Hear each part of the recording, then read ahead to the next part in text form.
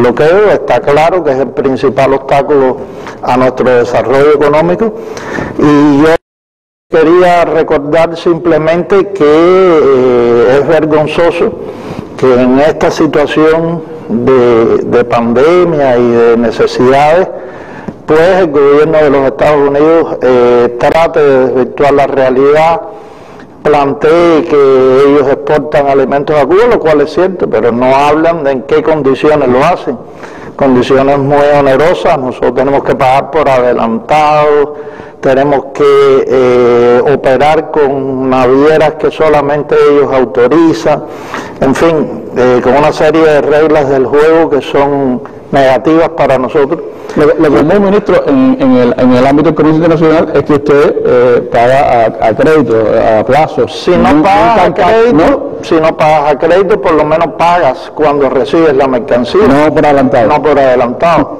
O sea que eso es con los alimentos y en el caso de los medicamentos, eh, Medicuba, nuestra empresa, ha dejado claro que es una flagrante mentira decir que Estados Unidos nos ha estado exportando medicamentos en, en ocurrido, realmente es lo contrario. Eh, ellos han estado creando dificultades para que nosotros podamos adquirir los recursos más importantes que necesitamos para enfrentar no solo esta pandemia, sino eh, todos los desafíos del, del desarrollo económico y social en, la, en, la economía cubana nosotros vamos a ver los efectos en diversos aspectos. Vamos a ver los efectos negativos de, la pandemia, por ejemplo, en las exportaciones. Uno de nuestros principales servicios de exportación es el turismo y ya estamos viendo cómo el turismo no solo en Cuba, a nivel internacional tiene una contracción tremenda y por las decisiones que nosotros hemos tomado para eh, cuidar la salud de nuestro pueblo, pues no estamos recibiendo en este momento turistas. Eso va a tener un efecto en las exportaciones y en los ingresos del país eh, que va a ser muy importante.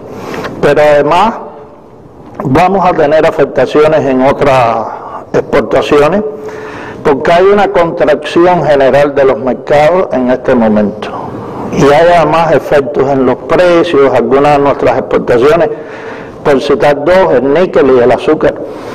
Sus precios han caído a niveles, el, níquel 16%, si comparamos el precio de diciembre con el precio actual, y el azúcar un 18%, igual si comparamos diciembre contra eh, abril de, este año. Y hay otros productos que si bien no tienen aún afectaciones en los precios, sí tienen afectaciones en la demanda. Y te voy a poner dos ejemplos solamente, el tabaco y el ron, dos productos tradicionales de Cuba, pero en el mundo están, están confinadas las personas en cuarentena, no hay bares abiertos, o sea que todo esto eh, también es una afectación por la vía de la demanda a nuestras exportaciones. Y hay otro tipo de afectaciones logísticas en el transporte internacional. Casi circulan menos barcos, menos, menos. Exactamente. y los aviones. Los aviones. Nosotros, por ejemplo, los habanos, buena parte los exportamos en avión. Aviones que vienen a Cuba trayendo turistas, que todos los días viajan a Europa, a Canadá y que ahora no están viajando y todo eso dificulta también la exportación. Vamos a tener también afectaciones en las importaciones porque hay producciones que nosotros necesitamos que los países productores están tratando de cuidar para su propio beneficio, evitando que haya un desabastecimiento. Nosotros estamos siguiendo todo este tema de manera muy puntual para evitar que, eh, por ejemplo, en el caso de los alimentos, haya afectaciones eh, a nuestra población. Eh, hay incremento de algunos precios también de, alimentos. voy a citar dos que son fundamentales en nuestra dieta, la leche para los niños y el arroz, que es un producto que normalmente nos falta en nuestra mesa. Y hay incrementos de precio en el caso del arroz de 18%, en el caso de la leche en polvo de 15%. Hay en sentido general un encarecimiento de la transportación internacional por la misma escasez de oferta que hay y todo esto también nos va a crear dificultades. Ahora, ¿cuál es, de qué manera vamos nosotros actuar ante estos problemas que son objetivos y que tenemos que, enfrentar? Nosotros, en primer lugar, no, no vamos a renunciar a nuestro derecho al desarrollo económico y social. Nosotros vamos a seguir trabajando en aún en esta situación que es muy compleja, no nos vamos a cruzar de brazos y vamos a dejar entonces ponernos ahí muy pesimistas y no poder hacer nada. Tenemos que trabajar con una mentalidad optimista, pero al mismo tiempo muy realista. Tenemos que estar preparados para situaciones muy complejas. Eh, estamos analizando experiencias del pasado cubano, no, todos recordamos el periodo especial, estamos en una situación totalmente distinta, mucho mejor preparada nuestra economía para enfrentar estos desafíos que en los años 90, pero podemos utilizar algunas de las medidas que tomamos aquel tiempo de ahorro, de utilización de los recursos de manera más eh, eficiente y racional y tenemos que estudiar también otras experiencias internacionales que nos permitan enfrentar eh, estos problemas que vamos a tener en el ámbito económico. Tú decías al inicio que nuestra economía es muy abierta, depende mucho del comercio exterior. Y nosotros tenemos que trabajar entonces en función de exportar, a pesar de las dificultades que tenemos, la exportación es la fuente de recursos financieros más segura que tiene Cuba en este momento. En sustituir importaciones, sobre todo en lo que se refiere a alimentos y a energía. Y tenemos que mantener todo el, esfuerzo que estamos haciendo por atraer eh, la inversión extranjera. Eh, en la sustitución de importaciones, que es un tema priorizado los lineamientos, en la conceptualización del modelo económico cubano, yo la veo hoy como un tema aún más necesario, más urgente, más importante, sobre todo cuando hablamos de producción de alimentos en el sector agropecuario y en su encadenamiento con la industria alimentaria la promoción de las pequeñas, de las mini industrias locales en los territorios. Todo eso nos va a permitir eh, hacer ahorros importantes en, eh, en divisas y yo diría que los recursos más seguros que tenemos son aquellos que seamos capaces nosotros de producir eh, autóctonamente en el país. Tenemos, además, en medio de esta situación, algunas eh, oportunidades, yo diría, que nos favorecen. Tenemos un gran desarrollo en nuestra industria eh, eh, biofarmacéutica. tenemos productos tan buenos como el interferón alfa 2 que lo, estamos exportando, que nos abre posibilidades en medio de esta situación para nuevas exportaciones, los servicios médicos de igual manera. Y nosotros lo que no podemos es detener ese esfuerzo importante que ya está realizando nuestro pueblo bajo la dirección del partido y del gobierno en promover que se produzca más, que en los territorios se generen eh, nuevas posibilidades y que cuando se restablezcan las, las situaciones de o sea, la normalidad en el país, eh, podamos aprovechar mejor, con más eficiencia todos estos esfuerzos.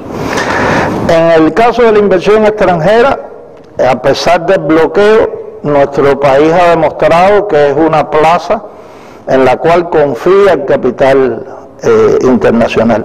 Nosotros en, en los primeros meses de este año ya se han aprobado nuevos proyectos por más de 600 millones de dólares de capital comprometido y estamos negociando en este momento y esperamos que se puedan eh, finalizar esas negociaciones este año, más de mil millones de dólares en, en proyectos que están avanzados.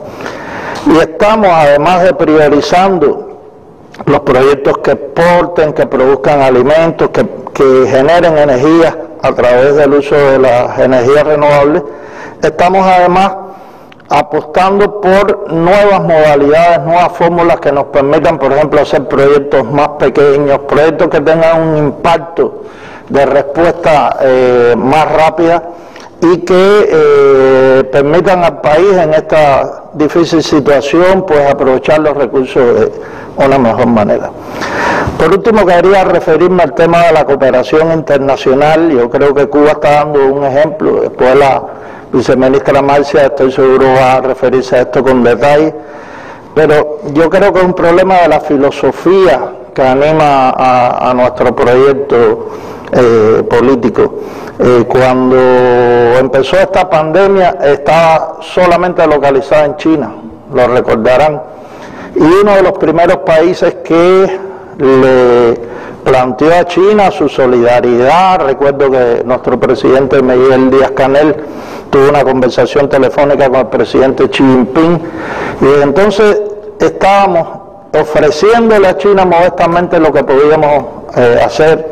Utilizamos el interferón allí, en fin, yo creo que esa filosofía solidaria que caracteriza a Cuba eh, se enfrenta entonces al neoliberalismo más despiadado, a esos ejemplos negativos que vemos en la prensa a veces de mercancías secuestradas porque no quieren que lleguen al otro que ya las pagó, porque me quiero beneficiar yo, el egoísmo.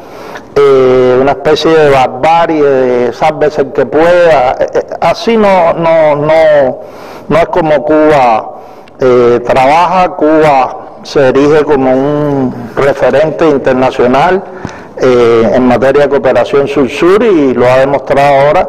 Creo que es el país que ha reaccionado de manera más solidaria, más eh, de mayor entrega, sabiendo que Cuba no es un país rico y que tenemos realmente muchas dificultades. Le decía Noam Chomsky, el politólogo eh, norteamericano, Cuba es un verdadero ejemplo de internacionalismo en el mundo de hoy. Y tú oyes las voces de personalidades como el secretario general de Naciones Unidas o el Papa Francisco, que llaman a que al menos en esta situación de emergencia mundial las medidas coercitivas unilaterales sean suspendidas, que los bloqueos se puedan eliminar y vemos cuál es la reacción del gobierno de Estados Unidos.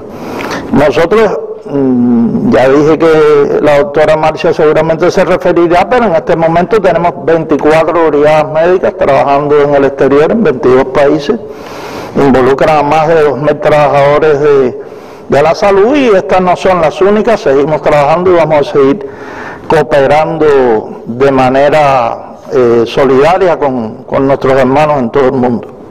Y quería decir también que quizás a partir de que nosotros tenemos esa filosofía de solidaridad, también estamos recibiendo ayuda solidaria de, de, otros países, gobiernos como el de Venezuela, que fue el primero que nos ofreció colaboración, China, Vietnam, hay eh, un grupo de, más de 100 eh, donaciones que hacen gobiernos, que hacen eh, organizaciones del sistema de Naciones Unidas, grupos de solidaridad con Cuba, cubanos que viven en el exterior y que también están interesados en ayudarnos en esta situación empresas que tienen negocios con nuestro país y todos esos ofrecimientos que no todos han arribado al país ya en este momento alcanzan la cifra de casi 15 millones de dólares. Eh, y no estoy contando ahí donaciones en efectivo que por más de medio millón de dólares. ¿Qué es lo que estamos recibiendo fundamentalmente? Medios de protección, eh, eh, diagnósticos para poder eh, hacer las pruebas y diagnosticar la enfermedad. Eh, hemos recibido también alimentos, algunos medicamentos y, la garantía que da nuestro sistema es que esto recursos, todos los donantes saben que se van a utilizar en el bienestar de nuestro pueblo y no se van a desviar para otras, eh, otros objetivos. Yo en, en conclusión, Randy, lo que diría es que es un momento muy complejo desde el punto de vista económico, se nos une la pandemia con el recrudecimiento del bloqueo, pero en Cuba vamos a trabajar con mucha seriedad y con mucha dedicación para que eh, estos eh, efectos negativos se puedan paliar y que nuestra economía siga caminando en función del desarrollo. Eso es lo que nos enseñaron Fidel y Raúl y que la continuidad bajo la conducción del presidente Díaz Canel nosotros estamos promoviendo.